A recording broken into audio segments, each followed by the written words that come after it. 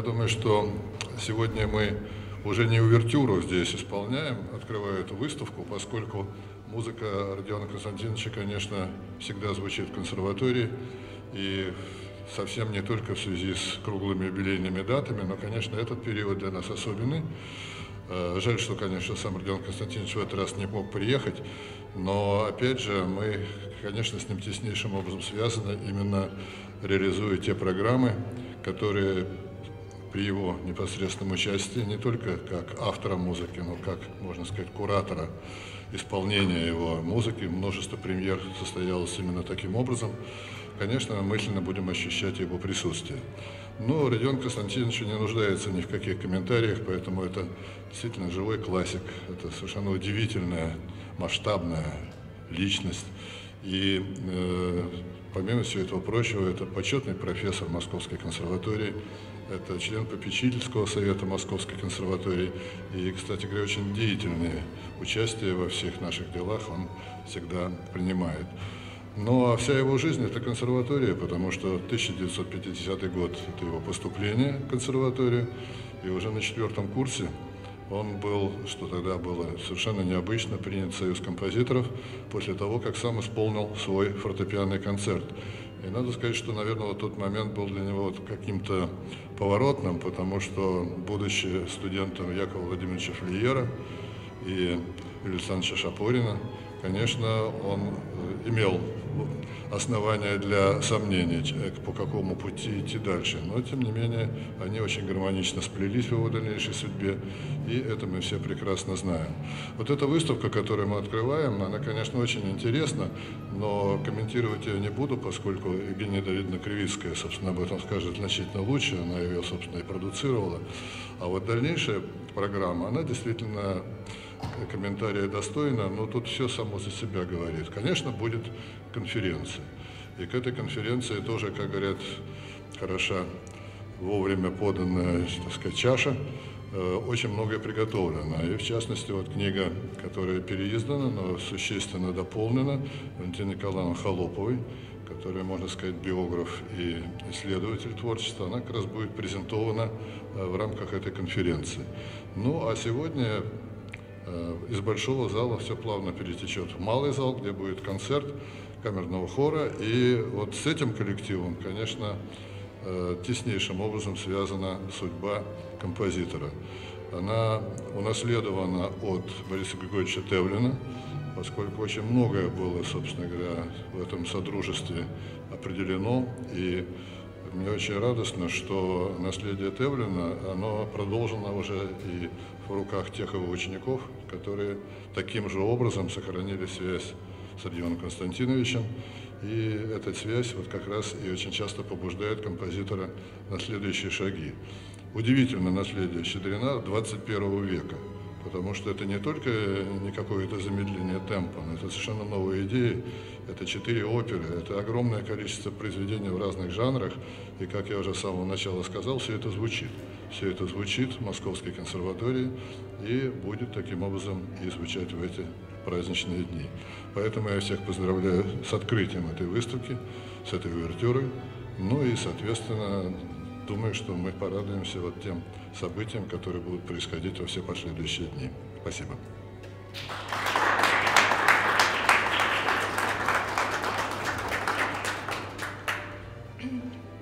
Наша выставка – это результат сотрудничества целого ряда организаций. Архива Московской консерватории, научной и музыкальной библиотеки имени Сергея Ивановича Танеева, Фонда развития творческих инициатив Московской филармонии, Большого театра, Мариинского театра. На первом стенде нашей выставки впервые выставлены архивные документы и фотографии, относящиеся к периоду учебы и работы в Московской консерватории. Родион Константинович с отличием окончил консерваторию по двум специальностям – композиции и фортепиано. Затем учился в аспирантуре по специальности композиция – обращает на себя внимание фуга, написанная на вступительном экзамене. Родион Щедрин – потомственный музыкант. Его отец, Константин Михайлович, тоже учился в Московской консерватории. И на нашей выставке есть архивный документ датированные 1915 годом. Это прошение Константина Михайловича с просьбой о зачислении его в класс специальной теории музыки. Далее на выставке представлены этапы творческого пути композитора. Мы видим черновики его партитур, таких как «Русские народные пословицы», «Москва-петушки», «Место поминовения» и «Рождественская сказка». Интересные познавательные программы и афиши концертов, нотные сборники. На выставке есть красочные фотографии с выдающимися солистами и дирижерами современности и репетиций а также с фотографией супругой композитора Майей Михайловны Плесецкой. И как дань памяти фотографии мемориального музея квартиры великой балерины. Отдельно хочется сказать о фотографиях, сделанных на малой родине композитора, городе Алексине Тульской области. Они связаны с творчеством, семьей и православной верой. Трогают его фотография с отцом и фотография из Успенского собора, где протеерей отец Геннадий вручает Щедрину икону святого Родиона. В центре нашей выставки есть замечательная большая фотография, где запечатлен камерный хор Московской консерватории вместе с Родионом Щедриным, ректором Московской консерватории профессором Александром Сергеевичем Соколовым и руководителем хора профессором Александром Владиславовичем Соловьевым который сотрудничает с композитором. С композитором. Я предоставляю вам слово. Я поступил в Московскую консерваторию э, на первый курс и сразу попал в камерный хор. И как раз тоже был период, когда мы готовились к 65-летнему юбилею Родиона Константиновича. И тогда скрупулезнейшим образом велась работа над э, партитурой Щедрина э, «Казнь Пугачева».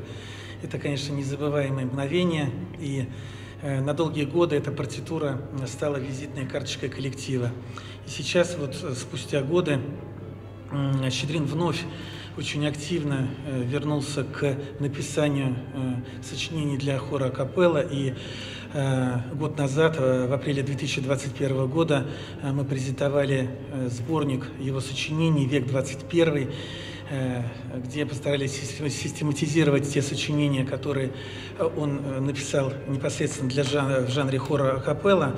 И нам очень дорого, что в пандемийный период родился целый ряд новых его сочинений, и первым исполнителем этих сочинений стал э, камерный хор Московской консерватории. Это и э, пять русских народных пословиц, это эпиталама, это бурлеска, и, наконец, сочинение, которое даже не успело войти этот, э, в сборник «Век 21 притча, который э, этот хор Родион Константинович также посвятил камерному хору Московской консерватории. Э, я хотел бы еще сфокусировать внимание, что э, это мероприятие, открытие выставки, оно э, также стало одним из мероприятий Всероссийского музыкального фестиваля э, «Запечатленный ангел», э, который мы инициируем уже второй раз к юбилейной дате Родиона Константиновича. Я хотел бы поблагодарить Московскую консерваторию Александра Сергеевича за эту инициативу и за то, что этот проект поддержали наши коллеги в регионах и как вы видите, здесь представлен перечень городов, в которых будет проходить мероприятие фестиваля. Это 11 городов и свыше 20 концертных мероприятий, э, научных, круглых столов, конференций. Э, ну а сегодня мы хотели бы для вас спеть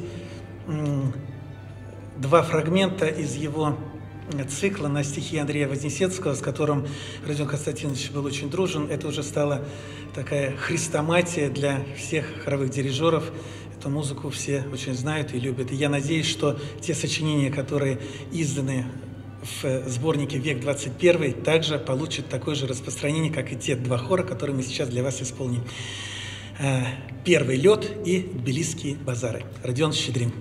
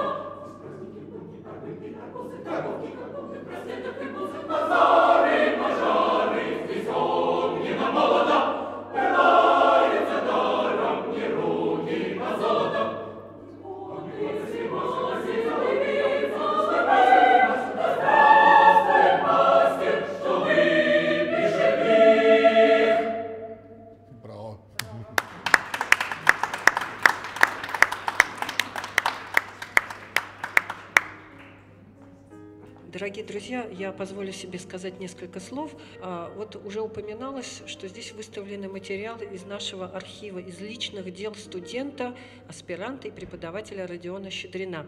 Но а, без разрешения композитора, разумеется, мы не могли это сделать. Это его личные документы.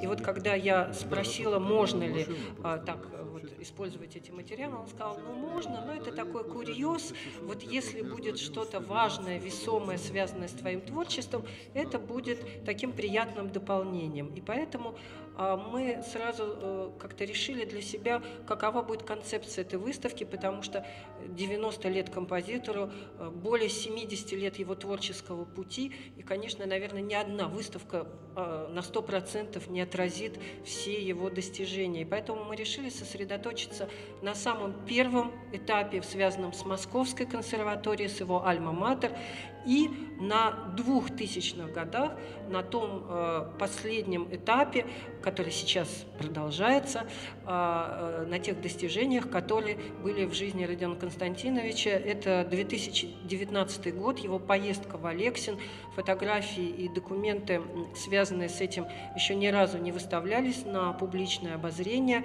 И эти материалы предоставил нам Фонд развития творческих инициатив и Александр Соловьев. А, это материалы вот того самой презентации хорового сборника «Век 21». Это снова Московская консерватория, снова Рахманиновский уже зал. А, где Родион Константинович, кстати, бывал и ранее, в 2012 году встречался с нашими студентами, оттуда есть эта фотография.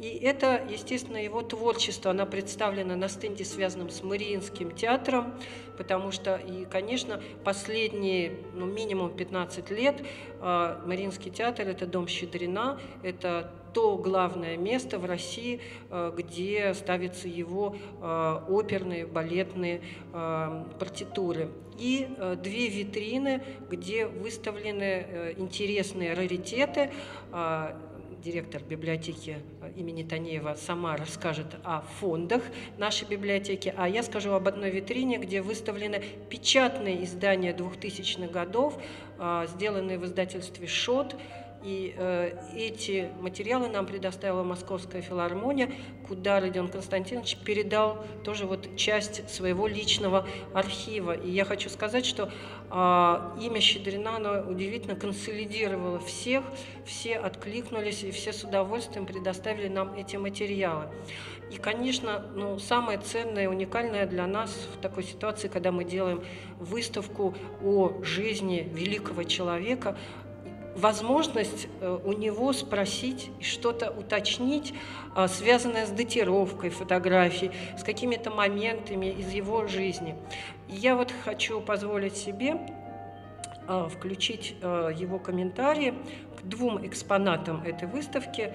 Это то, та самая фотография его с отцом, Константином Михайловичем Щедриным. Я просто спросила, каким годом она датирована, сколько ему самому лет на этой фотографии. И вот он любезно рассказал об этом сам. Так, сейчас, секундочку. А, минуту.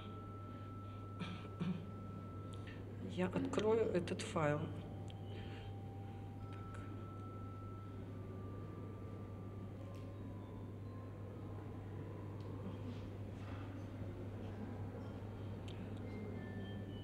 Сейчас.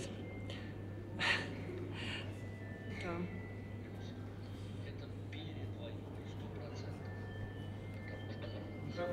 Микрофон. Сейчас. Получение. Вот. И э, помню, сколько здесь лет мне, не знаю, но это была зима, конечно, потому что все от снега до снега месяцы мы проводили в Алексине, а зимние месяцы холодные проводили в Москве. Тут я чем-то заболел, э, ангиной или чем-то у меня такой э, страдальческий вид, и вот отец меня, у нас был такой диван в этой комнате одной на мытной улице, где мы жили, и вот он меня как бы э, утешает. Вот. Сколько лет, не знаю даже, могу только гадать. Пять, шесть, ну, вряд ли, больше. Вряд ли четыре, знаете, где-то пять-шесть. Женечка, ну вот вторично. Вот а второй маленький комментарий связан с фотографией, где Родион Константинович на первом стенде изображен вместе с Майей Михайловной возле афиши конька-горбунка, и в руках они тоже, так сказать, как бы рассматривают э, партитуру конька-горбунка. И вот он рассказал, э, с чем э, связана э, эта фотография. По-моему, разговор шел о коньке-горбунке. По-моему, у вас фильм снимал кусочек оттуда с Володей Васильевым.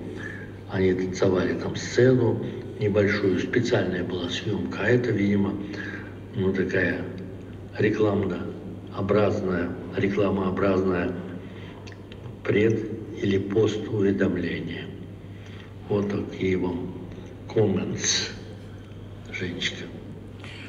Вот, ну, это... Футляр Так, сменить? тихо, тихо. А, вот э, такой был увлекательный процесс создания этой выставки. Я надеюсь, что вы с интересом посмотрите на плоды нашей работы. Сейчас я предоставляю слово Ирине Зиславне Тариловой, директору музыкально-научной библиотеки имени Танеева, и она расскажет тоже что-то нам интересное.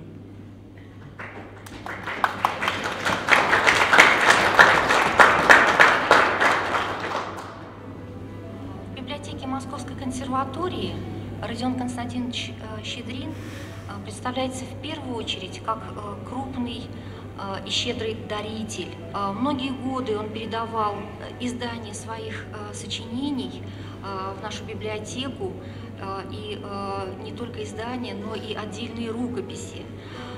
Э, 20 лет назад в наш- в нашей библиотеке была выпала честь получить на хранение э, часть личной нотной библиотеки Родиона Константиновича, э, которые украшают и рукописи, вот о которых я сказала, и, э, конечно, многочисленные экземпляры с дарственными надписями, адресованными Родиону Константиновичу от известных лиц, в первую очередь крупных э, композиторов, музыкантов.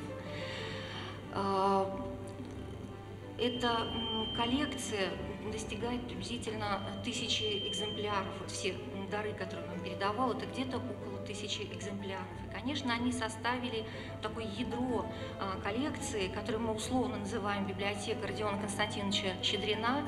А, Мы пополняем эту коллекцию а, другими материалами из самых разных источников. Это и э, книги о композиторе, это э, статьи из э, периодических изданий, концертные программы, э, фотографии, все, что связано с его творчеством, с его именем, так дор- дорогим нашей э, библиотеке. И э, на стендах, к сожалению, э, на витрине мы смогли представить только очень небольшую часть э, нашей коллекции. Э,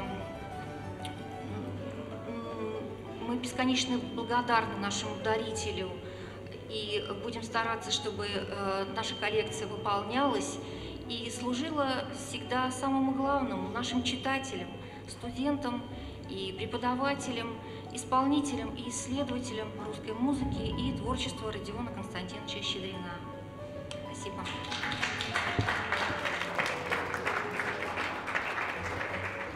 Самое главное, вот самое главное ожидание, самое главное определение для роли э, э, Родиона Константиновича в Мюнхене, в Баварии, он был послом советской музыки, он был послом российской музыки. Его иначе и не воспринимали. Собственно, это самое дорогое, самое сильное впечатление, которое у нас осталось с тех времен.